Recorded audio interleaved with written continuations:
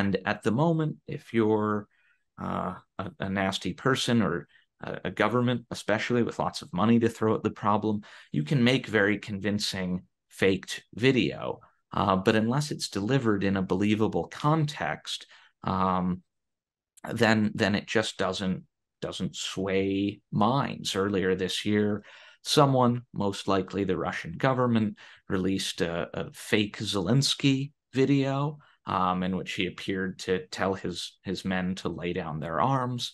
But given that just days before he'd appeared on the streets of Kiev and encouraged everyone to keep fighting, it just didn't make sense to anyone that he would have this about face. Um, and so it wasn't believed. Um, and I think the same goes for a lot of AI or generative AI fueled deception.